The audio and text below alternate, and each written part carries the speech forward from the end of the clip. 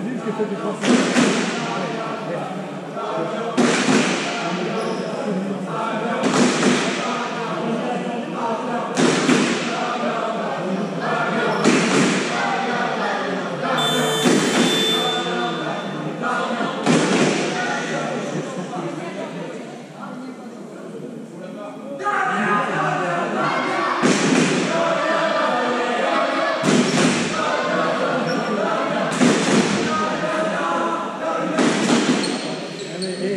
Est-ce que tu sais mourir aussi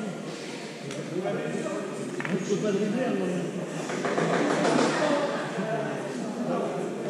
pas.